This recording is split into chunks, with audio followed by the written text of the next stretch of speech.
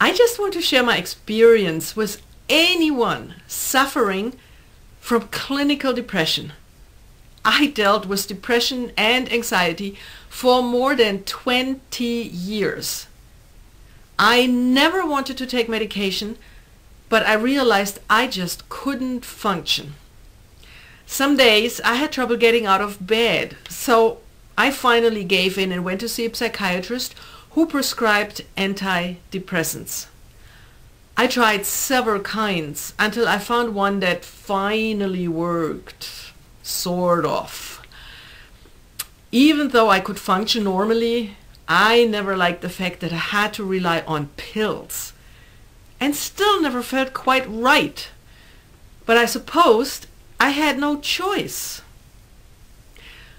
About three years ago, I read an article about neurofeedback. The article made all kinds of claims for this wonderful thing that could cure kids with ADHD, people with post-traumatic stress disorders, and several other things, including my problems. I was very skeptical but curious because I really hated taking medication. So I decided to do a little research.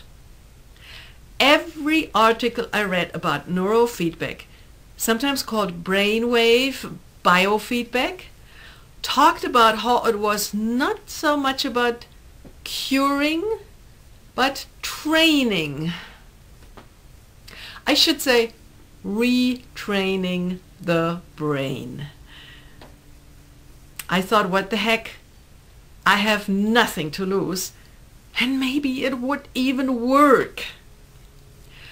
I was lucky enough to find a psychologist who was very experienced using neurofeedback, so I made an appointment with him to talk about my situation and see if this could help me. He felt that I would benefit. I thought, yeah, of course you would but I set up a schedule for some neurofeedback sessions. When I got to my first appointment, I sat in a comfortable chair. The doctor really didn't say too much. He just attached a couple of electrodes to my scalp, told me to watch the computer screen in front of me and then turned the lights out. I had no idea of what I was supposed to do. Some nice music began to play as well as a video on the screen.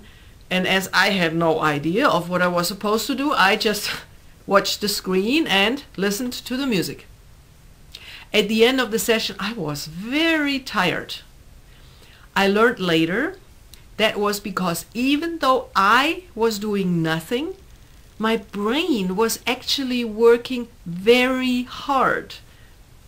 I went a couple times for a few months and repeated the same process, but I remained skeptical.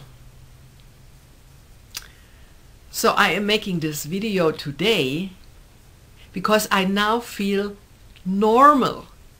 I don't have to take pills anymore because the neurofeedback actually worked.